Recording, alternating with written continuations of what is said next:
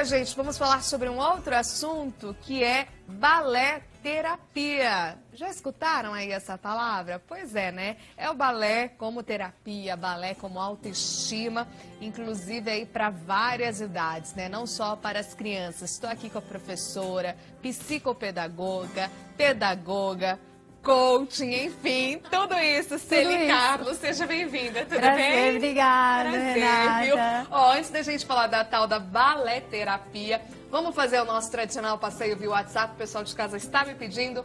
11 94258 9183. Sua participação aí sempre muito importante aqui pra gente. Então venha lá aqui comigo. Tô aqui com o meu. Esse telespectador é fiel mesmo e nos acompanha diretamente do Paraguai. Renata, eu sou seu fã número um. Célio Ferreira na companhia no Paraguai. Obrigada. Beijos, Nandinha linda. Beijo.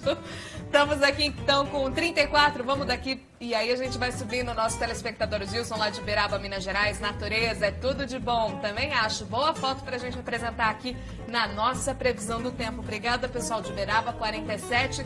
Jaraguá do Sul sempre aqui com a gente. Obrigada, beijo pra vocês de Santa Catarina. 41 temos ali na sequência. Bom dia, Renata. Eu assisto todos os dias o teu programa, é muito bom, principalmente no, no horário aí. O Elcio de Cerro Azul, Paraná. Obrigada, beijo pra você. 73, Bahia aqui com a gente. Bom dia, meu nome é Carlos, gosto muito da apresentadora. Obrigada pela companhia aqui no Bem da Terra 15, interior de São Paulo, pessoal de Itaoca, São Paulo, Alain, do Sudoeste Paulista. Abraço para todos os telespectadores.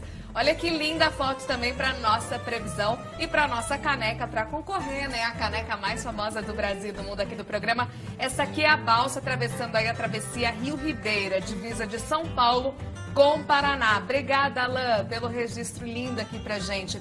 Vamos ali para o código 11. Bom dia, meu nome é Sérgio, de São Miguel Paulista. Gostaria de saber se o chefe Danilo Gourmet já passou. Passei atrasado para ver o trabalho e gosto muito do programa. Tá chegando! O próximo bloco tem gastronomia com prato italiano premiado, viu? É um prato brasileiro premiado lá na Itália. Olha, gente, é um bacalhau que aí é marinado no café e diz que vai sair uma delícia esse prato. E saiu mesmo que ganhou prêmio, a gente vai ensinar para vocês. Então a gente sai de São Paulo e vai para o Nordeste, no 84. Bom dia, Renata. Acho muito legal acordar assistindo Bem da Terra com você. Obrigada. Beijo pro Edivaldo do Rio Grande do Norte. Código 12, aqui com a gente também, interior de São Paulo. Por favor, quero o brinde do programa. Tá aí o registro, então, do pessoal aqui do interior paulista. Faça como esses telespectadores, participe aqui com a gente, mande seu recado, mande sua foto, mande seu comentário, faça seu pedido de música, enfim, participe de alguma forma aqui do nosso Bem da Terra. Só relembrando, né? Muita gente às vezes pega o programa no meio, como a gente viu ali o telespectador, ou não sabe se já foi tal entrevistado ou ainda não. Vocês aí de casa já sabem que o programa completo fica lá no nosso site, tvterraviva.com.br. Vai ali na área de acesso ao programa, tem lá Bem da Terra e aí você acompanha todos os blocos, tá bom? Na íntegra. Lá na nossa página no Facebook, a gente sempre coloca também os destaques de tudo que aconteceu aqui no programa. E lá na minha página, Renata Maron, sempre coloco aí um pouquinho dos bastidores. Agora tem um pouquinho do, da entrevista no intervalo com os artistas. Tem também as fotos. Enfim, essa é a nossa forma, a nossa ferramenta de comunicação com vocês aí de casa, tá bom? Bom, vamos falar agora sobre a dança, sobre essa ali, Bora balé, balé. terapia. Tô aqui, ó. Balé Eu não terapia. fiz balé, fiz jazz, viu? Você fez? Me achava um pouquinho desajeitada, que eu sou muito assim, né? Mas Será sabe, que eu vou ter essa que postura do história, balé? né? Toda, toda, toda menina teve É. contato com a dança em, em alguma, em algum momento da vida. Sim. Seja é o balé isso. Uhum. clássico, seja o jazz, seja... Teve, né, esse contato. Exatamente, tive o jazz, que tem aí um pouco das Tem, nuances do balé tem, também, né? tem, tem, tem, Me fala uma certeza. coisa, balé, balé terapia, né? O que seria no, de fato, assim? Então, balé terapia é o seguinte, é o, é o mais puro balé clássico mesmo, só que é um outro tipo de, de balé, é um balé voltado já para as pessoas adultas. Uhum. Porque quantas pessoas, quantas mulheres não teve já esse sonho de querer ser bailarina? né? De ter feito balé ou pelo Não teve a da vida, oportunidade. teve, ou pararam, não conseguiram e ficaram só com esse sonho. E aconteceu muito, né, nos últimos tempos, de muitas mulheres mais velhas Muito. é, entrarem nos cursos, enfim, a se aperfeiçoarem, irem bem aí nessa história. É, então, agora, agora o balé clássico mudou muito, né? Agora o balé é para todas. É para todas, é para todas as idades, não tem mais limite de idade. Eu tenho mães, tenho um monte de mães que fazem, que conseguiram até se formar no balé, acredita? Que legal. Então dá até pra ficar na pontinha do pé depois de Dá. velha? Dá, dá, dá. Eu conseguiria. Conseguiria. Jura, Juro. Celi? É. Vou te dar um exemplo, né? É, eu tenho, tenho milhares de exemplos, não é um só, né? Sim. Mas o último, mais recente, que a gente dançou no Teatro Gazeta dia 21 agora. Sim. E tem a Alessandra, que é uma aluna nossa, e ela, até filha do Ronivon, e ela tem 40... Ah, não sei se pode dizer... Ah, desculpa, Bom, enfim. Desculpa, Lê. Ah, desculpa, Tá, Lê. não tem problema. Ah, eu acho que entrou- ela vai até gostar. Ah. Ela entrou na ponta, gente, faz um mês que ela entrou na ponta. Então, assim, o balé pra ela renovou, foi um renovo na vida dela. Sim. E, e- e de todas as mulheres que procuram isso, né? Gente, eu tô aqui Sim. pra falar que pode sim, você pode. E me fala, e os homens também? Também, Hum, também, também. Não é mais. É que assim, né, Renata? A gente tá no Brasil, né? Então, ainda assim, tem muito preconceito, né? Ainda tem. A Uhum. gente superou, o balé caminhou bastante, a gente está lá na frente, mas ainda tem sim.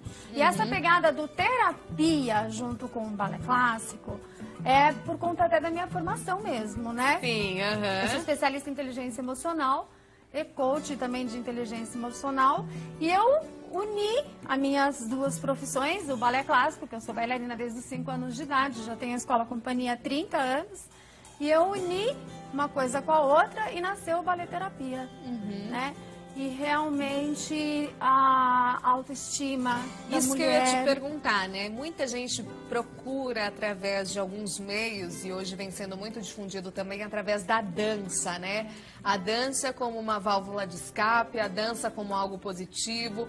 E como a Celi falou, em qualquer momento da vida, gente. Às vezes, ah, não, eu acho que eu sou desajeitada, acho que eu não tenho tendência para isso, para aquilo. Não, de repente você se acha no balé realmente é, e descobre ali que, de repente, óbvio, você não tem aquele talento nato, não vai aí se apresentar nos grandes teatros mundiais, mas isso para você, assim, é um renovo, é uma nova forma de vida e as pessoas hoje em dia precisam disso, precisam ter um momento para descarregar suas emoções, né? Que tá tudo tão turbulento que se você não tiver algo para você respirar, Precisa. você acaba assim atropelando, né? E aí causa ansiedade, a depressão e por aí vai. E o balé, ele, ele é uma atividade, é uma arte, só que ele é uma atividade física também. Então a gente trabalha as duas coisas. A gente trabalha o corpo em si, porque, gente, balé dói, tá? Balé tem que. Né? Balé tem que fazer abdominal, tem que fazer um monte. Tem a saúde também envolvida, né? Tem. Como você fala. Então, lógico, ajuda na autoestima, mas ajuda também na nossa parte física, que na é parte maravilhoso. física, de manter. E, e aí o balé trabalha é, as duas coisas. Ele trabalha o físico e o emocional também, né? Uhum. Você sabe que a gente, a gente tem os dois lados do cérebro, né? O esquerdo, que é o- a pura raz- razão, que é o racional, e o cérebro do lado direito, que é a emoção. E o balé trabalha muito essa parte da emoção. E a emoção está conectada, que é o nosso cérebro direito, direto à autoestima. Uhum, Então não tem como, gente, você ir pra uma sala de balé e sair triste. uhum. Não tem como você não fazer atividade, porque tem gente que não gosta de ficar aí na academia só malhando, né? Então, você tem que buscar essas novas alternativas, né? Onde você de repente se certeza. encaixaria e quem sabe talvez no balé você não acha essa é a oportunidade de vida, né? Essa coisa que pode mover você, inspirar você. E nesse início do ano, como eu venho falando, muita gente acaba aí lotando os cursos, as aulas, né? Acontece, assim, Acontece. início do ano ser aquela coisa, bom, preciso começar isso, isso, isso, Acontece. isso. Eu falo, tem que começar continuar, né? Começar e continuar. Não ir começando um monte de coisa e não terminando cê, nada, é, né? Porque a gente tem essa tendência às vezes, né? No começo de ano, né? E aí, é. Mas você sabe que lá na companhia, todo mundo que começa vai, segue em frente. É raro uma pessoa começar, porque a gente trabalha Geralmente o ideal é uma, duas vezes por duas semana. Vezes. Duas vezes uma hora, uma hora seria o ideal, assim, pra No mínimo, pra duas vezes por semana, uma uhum. hora de aula. O que é tranquilo, a gente acaba achando um espacinho na agenda, né? Todo Com mundo certeza. tem, né? Com uhum. certeza. E me fala uma coisa, redes sociais, a internet, a tecnologia também te ajudou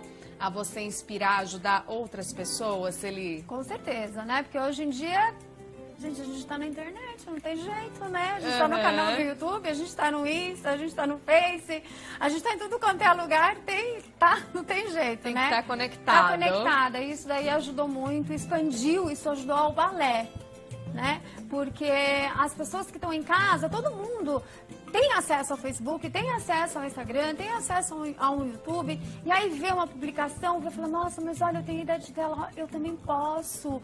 Se dá para ela, dá para mim também. Então, assim, aquela vontadinha que tá lá, aquele sonho que tá lá escondidinho, dá para resgatar esse sonho.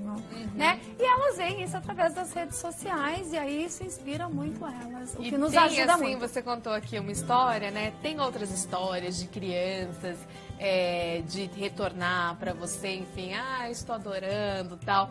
Todo dia, assim, acaba sendo uma história nova, um Todo contato dia. bom, assim, que também te fortalece a continuar com esse trabalho? Todo dia. Para você ter uma ideia, como a, a, a, escola já tem 30 anos, hoje eu, costumo dizer que eu, eu tenho netas de balé. Uhum. As minhas alunas bailarinas hoje trazem as filhas. Que legal. Né? Uhum. Então eu dei aula pra mãe, agora eu dou aula pra filha. Eu falo, gente, aproveita que a tia já tem 50 anos. né? Uhum, e o tempo vai passando também. Ah, o tempo né? passa uhum. pra todo mundo e pra Sim. mim também, né? Bisneto já não sei, gente, já não garanto. Sim, mas aí é bom que você vai, é uma, acaba sendo uma tradição mesmo, né? Uma tradição. Que a mãe, a mãe gostava e passa pra passa filha. Passa pra filha. Uhum. E é muito legal. Isso hoje em dia, olha só, os pais pais estão tão bem mais conectados à escola também, sabia? Uhum. Eles estão sentindo isso, né? Esse bem-estar para a filha e, e, a, gente, a gente acompanha o crescimento da criança, né? Isso, Porque até você falou do, dos pais participativos, anos. o diretor Charles aqui tá me passando no ouvido, ele falou assim, olha, vou levar a Maria para dançar, que é a filhinha dele. Pode a Mas Maria. a gente vê que realmente isso, né?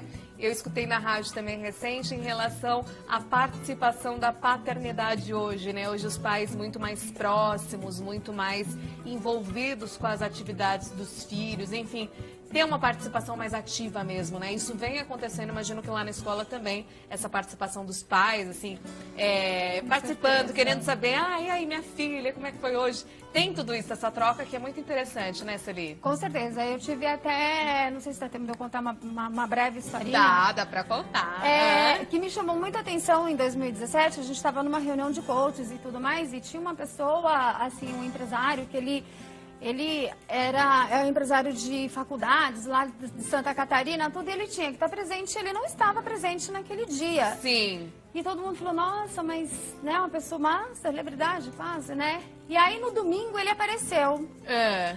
Qual foi a minha surpresa quando ele começou a falar, falei, gente, desculpa eu não ter vindo aqui, porque no sábado eu fui para a apresentação de balé da minha filha. E aí todo mundo ficou. Tem pessoas que falam, nossa, mas ele deixou um compromisso desse para ir pro balé. Uhum. Mas ele falou, olha, eu continuo e eu, eu vou explicar por quê.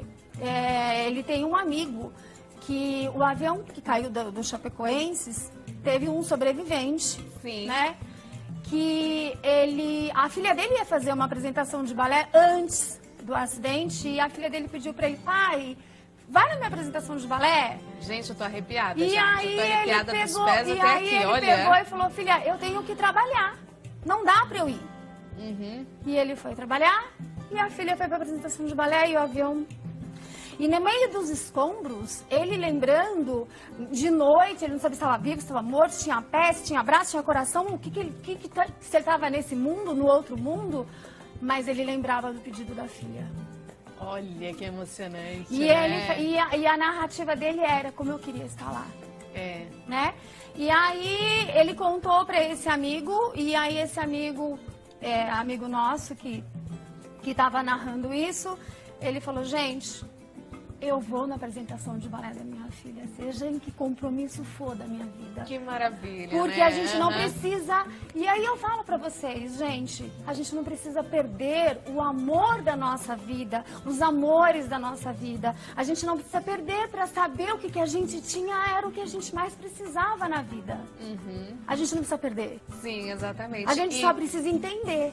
Isso, e dá prioridade, né? E Prioridade. nesse lado seu de coaching também, você acaba dando esse, esse norte para as pessoas, né? Lógico, existe a importância do trabalho, existe a importância profissional da sua carreira, mas o seu lado pessoal também merece, de, merece muito cuidado, né? E às vezes a gente acaba deixando um pouquinho afastado em momentos extremos, é onde a gente tenta resgatar tudo isso e às vezes acaba sendo um pouquinho tarde. Você sabe, Renata, que a gente tem oito pilares, a gente tem onze pilares da nossa vida. É lógico que se você falar, ah, eu vou equilibrar os onze pilares da minha vida, é difícil você equilibrar. Mas, gente, dentro do nosso possível, nós precisamos isso. E dentro desses onze pilares está o quê? A nossa saúde, está a nossa família, está a nossa, assim, a nossa vida empresarial, está o nosso trabalho, porque isso daí também é importante. Todo mundo sabe que a gente tem que manter, pai tem que manter casa, pai tem que manter filho, mas a gente tem que manter o equilíbrio. E assim, aonde a gente foca, a gente consegue expandir. E se você focar na sua família, aquele, aquela hora da minha filha, aquela hora do balé da minha filha. E esquecer Agora, do celular, esquecer de tudo, né? agora eu vou trabalhar. Aham. Agora é o foco no meu trabalho, entendeu? Dá, gente, pra gente equilibrar tudo isso, É, viu? com certeza. A gente acha que é uma loucura, mas a gente consegue. E o segredo é isso. A palavra de ordem é equilíbrio, né? Equilíbrio. Equilíbrio para tudo na nossa vida. Equilíbrio. Bom, Celi, adorei você estar aqui com a gente hoje. Adorei, que saber um adorei, pouquinho obrigada. mais sobre essas aulas, né? Inclusive sobre a balaterapia hoje. Deixa o contato para quem está em casa, quem quiser saber um pouquinho mais do seu trabalho, enfim, tirar mais dúvidas, mais informações, pode ficar à vontade aqui. Tá, o Insta é Cia Balé. Nosso canal do YouTube é Celi Carlos Balé Cia. No Face também a gente está como Celi Carlos. É, nosso site www.ciabalé.com.br 5011-3796. A gente está lá na, na Zona Sul, Jabaquara, esperando por você. Tá bom, quem sabe eu não passo lá um dia, viu, para conhecer o trabalho de vocês. Estou devendo aí Tô a visita para um monte de gente. esperando, Renata. Obrigada. Seguinte, vamos fazer aquele passeio pelo nosso WhatsApp.